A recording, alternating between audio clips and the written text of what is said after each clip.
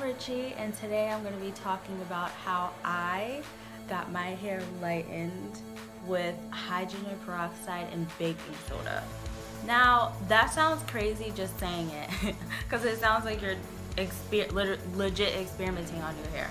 But for me it worked and I was shocked that it did. This process on YouTube myself and I was like there's no way that this will work. Like seriously. But I tried it and lo and behold, you got a ginger. So first I will say that like this process for me personally was way better than um, any experience I've had with bleach because I feel like bleach damages your hair after like each process but with this process I didn't get any damage to my hair. It felt the exact same way. But first I'm gonna jump into what I used. I used of course baking soda. I used hydrogen peroxide. I used a little bowl and a little black like brush like you know those hair brushes you use to yeah, those little hair brushes you use to like dye your hair. And then um, I went ahead and, you know, created the mixture. But what you want with this mixture, you don't want it to be watery because here it's like watery. And you want it to be like a thicker consistency like pancake batter.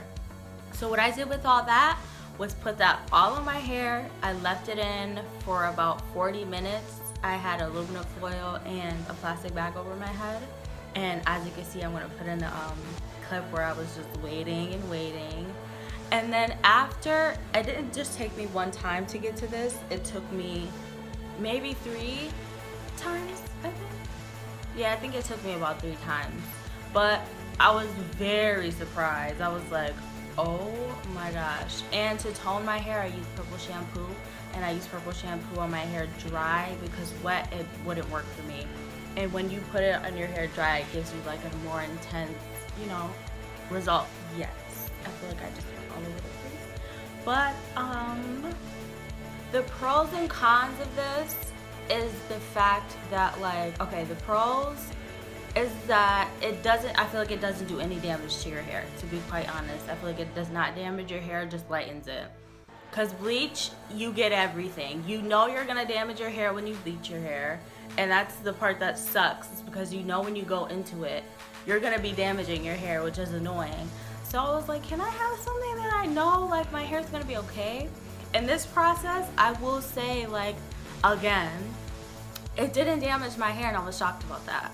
But the cons, I don't think I really have any besides the fact that like when you're doing it it gets kind of itchy but I feel like that's with any process.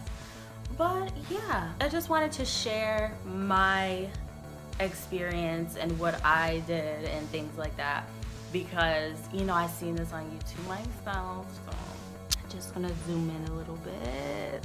On my hair. I'm literally a ginger yes I just had to share that I'm a ginger now and I accept my fate. So, I that's about it.